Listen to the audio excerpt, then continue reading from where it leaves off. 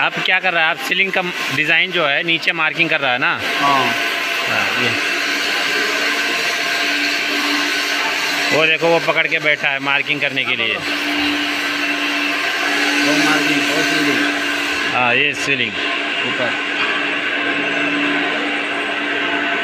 ये जैसा सीलिंग का डिज़ाइन है जैसा सीलिंग में बना है कौ वैसे ही कौ जो है ये देखो मार्किंग किया हुआ है ये मार्किंग करके ये जो लाइट कलर का मार्बल है ये लाइट कलर का मार्बल निकाल के इसके अंदर जो है डार्क शेड का मार्बल डालेंगे यहाँ पर। ये शेड जो है ये डार्क होगा जैसे कौ का मार्किंग है वही सेम मार्किंग नीचे करके इसको कटिंग करके ये लाइट वाला शेड निकाल के फिर उसके बाद में ये डार्क शेड डाल के फिर वही सेम डिज़ाइन यहाँ पे पैटर्न जैसे कव का पैटर्न दिखेगा यहाँ पे।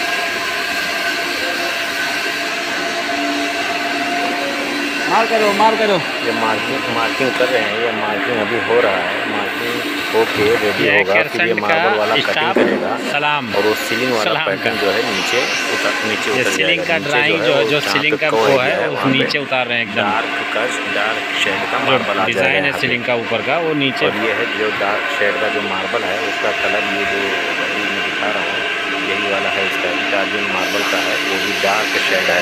और डार्क शेड ये है, ये देखिए, ये वाला डार्क शेड वो कऊ के एरिए में ये आ जाएगा।